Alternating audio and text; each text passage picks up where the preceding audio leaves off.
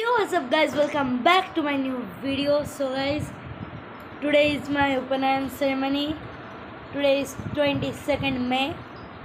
And I am quite nervous because my this hairs will be cut off.